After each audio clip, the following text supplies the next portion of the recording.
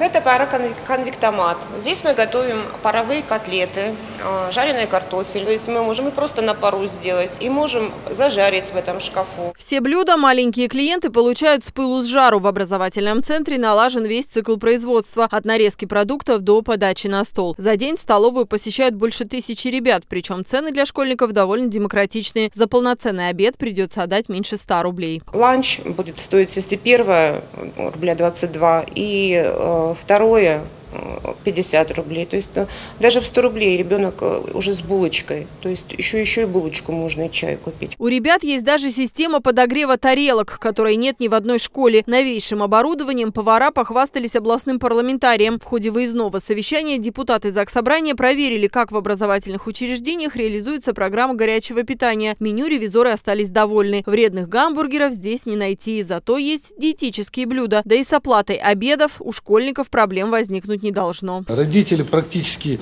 с 5-6 класса для своей рабочей карты банки выдают. Банки, да, дети, да, и да. дети очень активно этим пользуются. Поэтому вот терминалы инвестбанка у нас То договор... простой банковской карты ребенок Совершенно сможет. Всего в Челябинской области горячим питанием обеспечены практически 90% школьников. Среди младших классов эта цифра достигает почти 100%. Малоимущим и детям с ОВЗ обеды обеспечивают за счет средств из бюджета. В этом году на организацию питания школьникам с ограниченными возможностями здоровья выделили больше 130 миллионов рублей. И размер зависит от количества времени пребывания детей в образовательной организации и от возраста.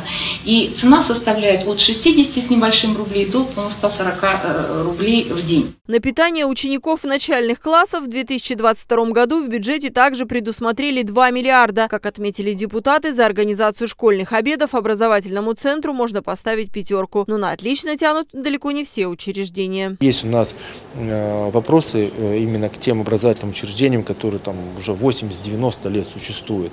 Да, есть какие-то моменты, но они не носят системный характер. Если такое обращение поступает именно к нам законодательное собрание, мы э, сразу реагируем. Депутаты областного парламента продолжат регулярные проверки школ в течение учебного года, а контролем вопросов организации питания будет заниматься специальная рабочая группа. Евгения Марунова, Наталья Петрухина, Роман Поротиков, 31 канал.